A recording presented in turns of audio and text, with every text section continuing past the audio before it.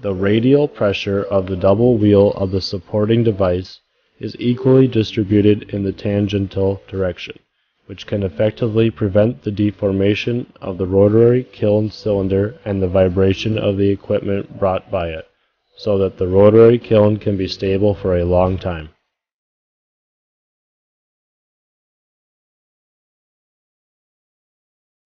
Roller bearings inside use oil spoon lubrication to ensure good operation of the wheel drive mechanism.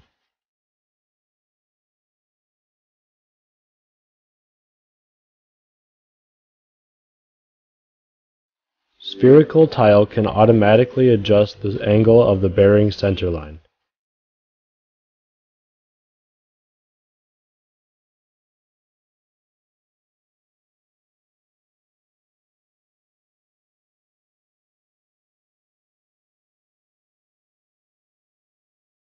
The large gear device is a component for transmitting the torque generated by the transmission to the cylinder. Large gear hood, equipped with oil tanker or injector and other devices, continuous for the rotary kiln gear to provide lubricating oil.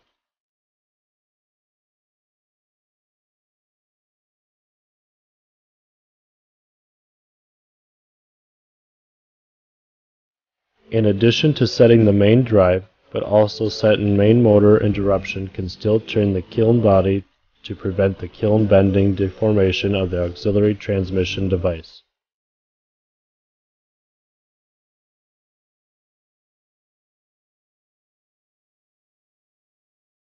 Pengfei rotary kiln using the most advanced hydraulic wheel device at home and abroad can limit the axial movement of the cylinder and automatically adjust the axial position of the cylinder.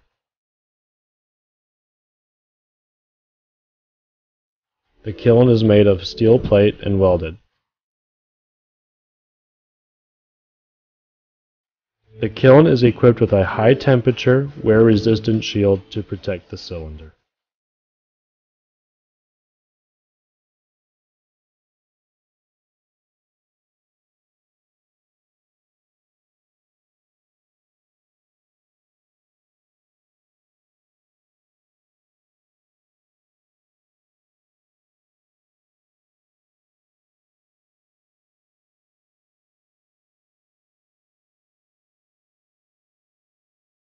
High temperature limestone powder and other cement accessories go into the rotary kiln cylinder body inside from the kiln inlet.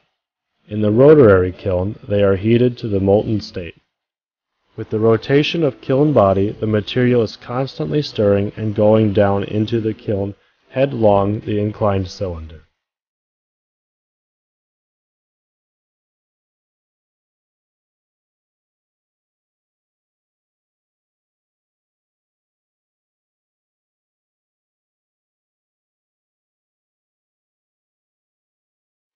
After the heating and stirring of the cement rotary kiln, the limestone powder and other cement accessories become the cement clinker in the molten state.